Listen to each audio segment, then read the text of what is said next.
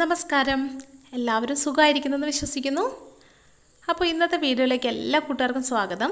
ഇന്ന് നമ്മൾ മസാല ദോശയാണ് തയ്യാറാക്കുന്നത്. നമുക്ക് എത്ര കഴിച്ചാലും മതി വരാത്ത എത്ര കഴിച്ചാലും മടുക്കാത്ത സൂപ്പർ ടേസ്റ്റി ആയിട്ടുള്ള എല്ലാവർക്കും ഒരുപോലെ ഇഷ്ടമുള്ള ഒരു വിഭവമാണ്. നമുക്കിത് റെസ്റ്റോറന്റ് സ്റ്റൈലിലൊന്ന് പിടിച്ചു നോക്കാം. അപ്പോൾ എങ്ങനെയാണ് തയ്യാറാക്കിയെടുക്കേണ്ടതെന്ന് നോക്കാം നമുക്ക്. അപ്പോൾ നമ്മൾ ആദ്യം തന്നെ ഉരുളൻകിഴങ്ങ് വേവിച്ചെടുത്തിട്ടുണ്ട് കേട്ടോ. ഞാനിവിടെ ഒരു മൂന്ന് മീഡിയം സൈസ് ഉരുളൻകിഴങ്ങും ഒരു ക്യാരറ്റാണ് എടുത്തിരിക്കുന്നത് ക്യാരറ്റ് ചേർക്കുമ്പോൾ തന്നെ നല്ല സൂപ്പറായിട്ടുള്ള ടേസ്റ്റ് കിട്ടും. അപ്പോൾ ഞാനിതിൽ മഞ്ഞൾപ്പൊടിയും ഉപ്പും പിന്നെ കുറച്ച് വെള്ളവും ചേർത്താണ് വേവിച്ചിരിക്കുന്നത് വേവാൻ ആവശ്യമായിട്ടുള്ള വെള്ളം മാത്രം ചേർത്താൽ മതി. ഒരുപാട് വെള്ളമാണെങ്കിൽ നമ്മൾ വെള്ളം കളയണം. അങ്ങനെ കളയുമ്പോൾ കുറച്ച് ഇതിന്റെ ടേസ്റ്റ് നഷ്ടപ്പെടും. അതുകൊണ്ട് തന്നെ ഈ ഒരു അളവിൽ തന്നെ എടുക്കുക. ഏകദേശം വേവാൻ ആവശ്യം ആയിട്ടുള്ള അത്രയും വെള്ളം മാത്രം എടുത്താൽ മതി. ഓക്കെ ഇനി നമുക്കിത് മസാല റെഡിയാക്കാം അതിനായിട്ട് ഞാനിവിടെ ഒരു പാൻ അടുപ്പിലേക്ക് വെച്ച് ചൂടാക്കിയിട്ടുണ്ട്. അതിലേക്ക് നമുക്ക് വെളിച്ചെണ്ണ ഒഴിച്ചു കൊടുക്കാം. ഇത് വെളിച്ചെണ്ണ തന്നെ തയ്യാറാക്കണം എന്നില്ല നമുക്ക് സൺഫ്ലവർ ഓയിലാണെങ്കിലും അതേ ടേസ്റ്റ് കിട്ടും. കുറച്ച് കടലപ്പരിപ്പിട്ടൊന്ന് മൊരിച്ചെടുക്കാം. അതങ്ങ് മൊരിഞ്ഞ് വരുമ്പോൾ നമുക്ക് കുറച്ച് കടുക് ചേർത്ത് കൊടുക്കാം. കടുകൊക്കെ നന്നായിട്ട് പൊട്ടി വരുന്നുണ്ട്. ഈ സമയത്ത് നമുക്കിതിലേക്ക് കുറച്ച് പെരിഞ്ചീരകവും ഒരു ചെറിയ കഷ്ണം കറുവപ്പട്ടയും കൂടെ ചേർത്ത് കൊടുക്കാം. നിങ്ങൾക്ക് വേറെ എന്തെങ്കിലും മസാല ഇഷ്ടമുണ്ടെങ്കിൽ ചേർത്തോളൂ. ഇനി നമ്മളിതിലേക്ക് വെളുത്തുള്ളിയും ഇഞ്ചിയും ചെറുതായിട്ട് അരിഞ്ഞത് ചേർക്കുന്നുണ്ട്. ഉണക്കമുളക് ചേർക്കുന്നുണ്ട്. അപ്പോൾ ഇതൊന്ന് ഫ്രൈ ചെയ്തെടുക്കണം. നല്ലതുപോലെ ഇഞ്ചിയും വെളുത്തുള്ളിയും വഴന്ന് വരുന്ന മണം നമുക്ക് കിട്ടും. ആ സമയത്ത് കുറച്ച് കറിവേപ്പില ചേർത്ത് കൊടുക്കാം. ഇനി പച്ചമുളകാണ് ചേർക്കുന്നത്. ഇതൊന്നും ഈ ഒരു ഓർഡറിൽ ചേർക്കണം നിർബന്ധമില്ല കേട്ടോ ഇനി സവാള ചേർക്കാം നമുക്ക്. ആദ്യം കടുക് പൊട്ടിച്ചതിന് ശേഷം നമുക്ക് ഓരോന്നായിട്ട് ചേർക്കാം. എരിവ് കുറഞ്ഞ് വേണമെന്നുണ്ടെങ്കിൽ ആദ്യം പച്ചമുളക് ഇട്ട് വഴറ്റി കൊടുക്കാം. അങ്ങനെയൊക്കെ ചെയ്യാം. അപ്പോൾ ഇനി ഇതെല്ലാം കൂടി ഒന്ന് നല്ലതുപോലെ വഴറ്റിയെടുക്കാം. ആവശ്യമെങ്കിൽ ഉപ്പ് ചേർക്കാം.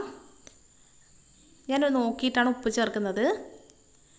നമ്മൾ ഉരുളൻകിഴങ്ങിൽ ഉപ്പ് ചേർത്തായിരുന്നല്ലോ. അപ്പോൾ ഞാൻ കുറച്ച് കാഷ്യൂ നട്ട്സ് ഫ്രൈ ചെയ്തൊന്നുമല്ല ഡയറക്റ്റ് ചേർത്ത് കൊടുക്കുന്നുണ്ട്. ഇത് നമ്മൾ മസാല കഴിക്കുമ്പോൾ ഇങ്ങനെ ഇടയിൽ കൂടെ കടിക്കാനായിട്ട് എന്ത് ടേസ്റ്റാണെന്നോ അങ്ങനെ കഴിച്ചവർക്ക് അറിയാനായിട്ട് പറ്റും. അപ്പോൾ എന്തായാലും നിങ്ങളുടെ കയ്യിൽ ഇരിപ്പുണ്ടെങ്കിൽ ചേർത്തോളൂ. അപ്പോൾ നമ്മുടെ സവാളയൊക്കെ വഴന്ന് വന്നിട്ടുണ്ട്. ഇനിയിപ്പോൾ നമുക്കിതിലേക്ക് ഉരുളൻകിഴങ്ങും ക്യാരറ്റും വേവിച്ചത് ആഡ് ചെയ്ത് കൊടുക്കാം. ഇനി ഇത് പതിയെ മിക്സ് ചെയ്ത് യോജിപ്പിക്കുക. ഉരുളൻകിഴങ്ങൊക്കെ നമ്മൾ മിക്സ് ചെയ്യുമ്പോൾ തന്നെ ഉടഞ്ഞു വരും. അപ്പോൾ ആ ഒരു പരുവത്തിനാണ് നമ്മൾ വേവിച്ചിരിക്കുന്നത്. നമ്മൾ കയ്യിലെടുത്ത് നോക്കുമ്പോൾ കയ്യിലെടുത്തൊന്ന് പ്രസ് ചെയ്യുമ്പോഴത്തേനും ഉടഞ്ഞു പോകുന്ന ആ ഒരു പാകത്തിനാണ് നമ്മൾ വേവിച്ചെടുത്തിരിക്കുന്നത്. അപ്പോൾ ഇതേ പതിയെ മിക്സ് ചെയ്ത് യോജിപ്പിക്കുക.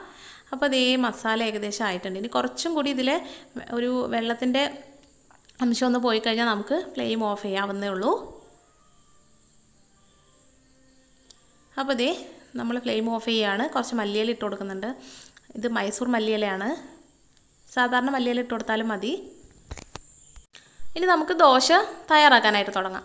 അപ്പോൾ അത് ഹീറ്റ് ഒന്ന് അഡ്ജസ്റ്റ് ചെയ്യുക. നന്നായി ചൂടാക്കിയിട്ട് ഫ്ലെയിം കുറച്ച് വെച്ചിട്ട് ജസ്റ്റ് വെള്ളം ഒഴിച്ചിട്ട് ഒന്ന് വൈപ്പ് ചെയ്ത് കളയുക.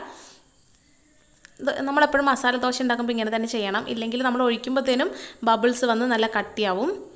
ശേഷം നല്ല തിന്നായിട്ട് പരത്തിയെടുക്കുക. ശരിക്കും സാധാരണ ദോശ ഉണ്ടാക്കുന്നതിനേക്കാളും നല്ലത് മസാല ദോശ ഉണ്ടാക്കുന്നത് തന്നെയാണ്.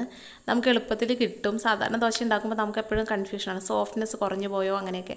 മസാല ദോശ ഉണ്ടാക്കുമ്പോൾ അങ്ങനത്തെ പ്രശ്നങ്ങളൊന്നുമില്ല. നമ്മൾ ഈ ചൂട് അഡ്ജസ്റ്റ് ചെയ്തിട്ട് തിന്നായിട്ടൊന്ന് പരത്തിയാൽ മാത്രം മതി.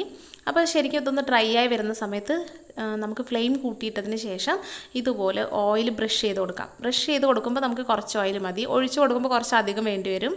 അതുകൊണ്ട് ഇതുപോലൊരു ബ്രഷ് എപ്പോഴും കരുതുക. ഇനി ഫ്ലെയിം കൂട്ടി വെക്കണം. ഫ്ലെയിം കൂട്ടി വെച്ച് കഴിയുമ്പോൾ പതിയെ ഓരോ സൈഡായിട്ട് ഇങ്ങനെ മുരിഞ്ഞ് വന്ന് തുടങ്ങും. അപ്പോൾ ഏകദേശം കുക്കായി കഴിഞ്ഞെന്ന് തോന്നുമ്പോൾ ദേ കണ്ടില്ലേ? ഒരു സൈഡ് മുരിഞ്ഞ് വന്നിട്ടുണ്ട്. അപ്പോൾ നമ്മൾ ഗ്യാസ് അടുപ്പിലായതുകൊണ്ട് നിങ്ങൾക്കൊന്ന് ഈ ഒരു ദോശക്കല്ലൊന്ന് ചെരിച്ചൊക്കെ വെച്ച് കൊടുക്കുന്നത് നല്ലതായിരിക്കും. ഇനി നമുക്ക് മസാല വെച്ചൊന്ന് ഫില്ല് ചെയ്യാം. അപ്പോൾ ഇതുപോലെ വെച്ച് കൊടുത്തിട്ട് നമ്മൾ ഫോൾഡ് ചെയ്തെടുക്കുകയാണ് അപ്പോൾ മസാലയൊക്കെ വെച്ച് കൊടുത്ത് നമ്മൾ ഫോൾഡ് ചെയ്യുമ്പോഴത്തേനും ശരിക്കും എല്ലാ വശവും നല്ലതുപോലെ മുരിഞ്ഞ് വന്നിട്ടുണ്ടാവും. അപ്പോൾ നമ്മൾ വീട്ടിലുണ്ടാക്കുന്നത് കൊണ്ട് കുറച്ച് മസാല വെച്ച് കൊടുത്താൽ മതി. നമ്മൾ കടയിലൊക്കെ പോകുമ്പോൾ ശരിക്കും ഒരുപാട് മസാല ഉണ്ടാവും. നമ്മൾ ഒരു ദോശയിൽ കഴിക്കുള്ളൂ.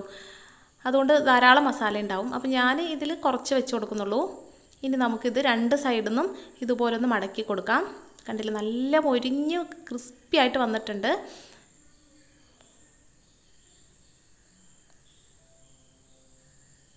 ഇതുപോലെ അങ്ങ് മടക്കി കൊടുത്തിട്ട് നമുക്ക് ദോശക്കല്ലിൽ നിന്ന് എടുത്തിട്ട് മാറ്റാം.